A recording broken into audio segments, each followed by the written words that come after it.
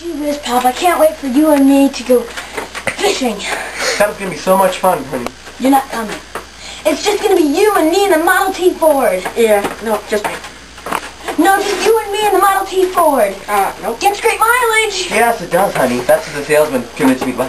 That should be good mileage. Dad, you're not being very peppy today. You really aren't, honey. You should be happier like us. Yeah. Not being peppy? Dad, 10 and 2, Dad, 10 and 2. The, the, the 10 and, 10 and There's- 2. watch the road, There's honey. a road. honey, There's a road. honey, we're on, we're still on the road. Touch my Honey. wheel. Oh my god. Honey, honey, honey. No, Honey. you're Should we be dead by Let's now? not do this again. Let's not go this again. There's a cow. Honey, there's a cow. I see a cow! There's, there's a cow. Honey. Are you okay, son?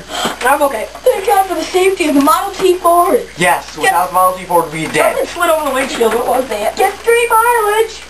It does get great mileage. Oh my god. Approximately oh three Oh my miles per gallon. god. That's a lot. You didn't hit a cow. You can Drive, drive, go, go, go. drive. Keep drive. Thank God for the Model T Ford's great handling. Now we can go so fast and, and outrun that dead body that's behind us. Shortcut. Okay, that's it. You're going to the trunk. Stop. Hey, Pop, that trunk's so spacious we could fit Tom in there without cramping. Unlike me. When can we come out? When you learn your place in the vehicle. Ow. Oh, honey, where'd you get that That shifter? didn't. Uh, found it on the side of the road when we stopped. Oh. Quite lovely. It's very bumpy.